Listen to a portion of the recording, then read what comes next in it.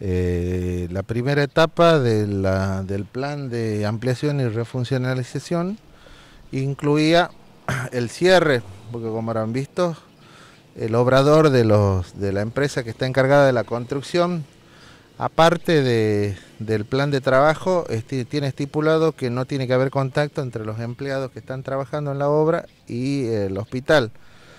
Así que se ha armado ahí una estructura separando toda la parte donde se está trabajando. Como la parte, la primera etapa incluía todo el sector de admisión, el sector de laboratorio, los consultorios externos, eso se cerró también. Y hemos tenido que modificar, eh, trasladar a esos sectores a otras dependencias más chicas del hospital. Por eso es que los accesos han quedado restringidos solamente a la guardia, la guardia de adultos, la guardia pediátrica.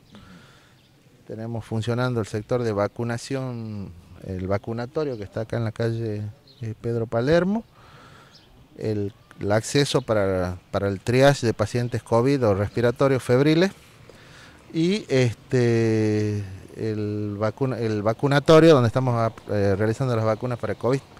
Sea que ahora este sector o esta ala de pediatría ya no es tanto pediatría entonces. Esta parte está compartida por pediatría y el- la parte de admisión para el laboratorio. Acá se otorgan los turnos para el laboratorio, para la parte programada del laboratorio. El laboratorio está funcionando en una adyacencia ahí del sector de pediatría. ¿Mm? Los turnos siguen siendo normales y esas cosas. Los turnos han sido reducidos porque, como te digo, la- el espacio, la cantidad de horas que uno funciona ahí, como la está compartiendo con otros sectores, hace dificultoso mantener la misma modalidad de atención en un lugar reducido, con espacios distribuidos. Eh, no está todo en un solo bloque, está distribuido en varias partes del hospital. Eh, Pero sí, por ejemplo, se garantiza en este caso pediatría y clínica médica. Sí, sí, sí, sí, las guardias se mantienen, los turnos se siguen otorgando, esta semana se ha ampliado un poquito más, la semana pasada estaban restringidos, ahora que ya está funcionando en parte, este, se han ampliado la cantidad de turnos otorgados por día, lo que es el servicio de odontología, que es el que más ha sufrido en esto, en esto, en estas este, remodelaciones. Se cerró el servicio de odontología de acá del hospital y se trasladó la atención hacia los centros periféricos. Lo que es la totalidad de los odontólogos están distribuidos en turnos desde las 8 de la mañana hasta las 14 horas y desde 14 a 20 en lo que son los centros de salud de San Antonio, de Coronel Olleros y bueno, conservamos la atención en odontología en Salta Forestal. Eh, La tiene que buscar los turnos allí directamente, no acá. Sí, sí, sí, desde, desde esta semana ya empezaron a atender a ella en los centros. Recordemos también que eh, lo que es la distribución de aparatología, eh, básicamente para la atención ambulatoria, eh, la aparatología que cuentan los centros de salud es aparatología básica, pero bueno, van a poder satisfacer algunas de las consultas, por lo menos mientras esté funcionando el hospital de esta manera. Lo que es la atención se trasladó todo hacia los centros periféricos, así que lo que no se atiende acá lo van a poder eh, requerir ahí en San Antonio, en Coronel Ollero y en Salta Forestal los días lunes. Eh, En el caso de extracciones y esas cosas, por ejemplo, sí se van a poder hacer allá, un tipo de práctica. Sí, sí, algún tipo de práctica básica, sí. Y la atención en guardia acá también se ha mantenido en el hospital. Bien. Eh, ¿Guardia de qué tipo? doctor? ¿Ontológica o la otra? Las dos, sí, la atención de patologías clínicas por guardia se mantiene y la atención odontológica nocturna por guardia también se mantiene. Bien. Eh, ¿Acá también funciona guardia pediátrica o no? Sí, no, sí, sí, funciona guardia pediátrica. Nosotros tenemos pediatra de guardia activa, eh, médico clínico de guardia activa. Ginecólogo tenemos el 60 o 70% de la semana cubierto con guardia activa de ginecología. Generalmente los fines de semana no tenemos, eh, últimamente no estamos teniendo guardia activa de ginecología, no tenemos cobertura. Eh, la guardia quirúrgica, eh, la guardia de cirugía, es una guardia pasiva, la estoy haciendo yo.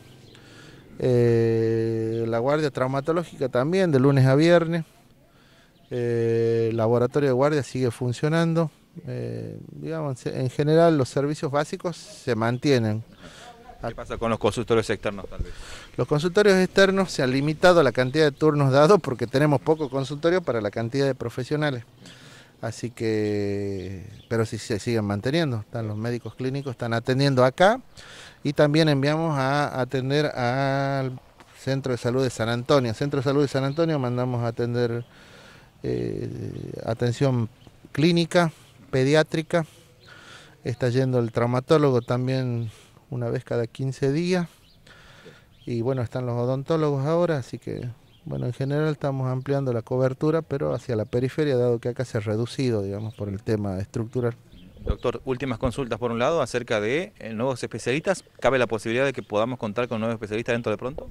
Sí, sí, recién este, estaba hablando con el secretario de Salud, eh, confirme, donde me confirmaba que este, por gestiones, bueno, gestiones compartidas en realidad, porque es una gestión que se inició a través de, la señora Quiquinto, Mari Quiquinto creo que es, y la concejal Nieto, que estaban este, promoviendo la formación de un, de un gabinete para poder atender pacientes con patologías de atención y otras patologías en edad pediátrica. Eh, ya me han confirmado que posiblemente venga un neurólogo infantil acá al hospital. Eh, estamos viendo a, partir de cuándo y con qué frecuencia lo va a hacer. Acá, digamos, como parte de, la gestión que han iniciado ellas, eh, bueno, se ha logrado que, venga el, neurólogo. Lo que sí estamos nosotros tratando de ampliar el tema para organizar un gabinete, en realidad. Ese es una, un agregado, digamos, que le hicimos desde parte de esta gerencia al secretario de salud, que también estamos a la, a la espera de que se me autorice de armar el gabinete, digamos, con el neurólogo con un psicopedagogo y con personal de fonoaudiología que trabaje acá en el hospital, formando un taller, digamos, de detección de patologías ya de manera estable, digamos, que funcione. Recordemos que el neurólogo vendrá cada 15 días o una vez al mes, no sé exactamente con qué frecuencia, pero la idea es de formar el gabinete que trabaje acá todos los días. Eh, vamos a ver si, en principio, digamos, va bien encaminado el tema. Eh, vamos a ver si en lo pronto se autoriza. Doctor, por último, entonces, eh, la nueva atención, si se quiere, o la nueva forma de atención a las personas va a seguir en tanto y en cuanto no se finalice entonces las refacciones. ¿Durante cuánto tiempo cree usted? Y esto se va, esto se va a ir modificando. Nosotros eh, desalojamos la primera parte, que es la del acceso de admisión, mientras se hagan las obras ahí. Tienen previsto entre dos o tres meses completarlas. Una vez que se completen, eh, se va a iniciar las obras en otra parte del hospital.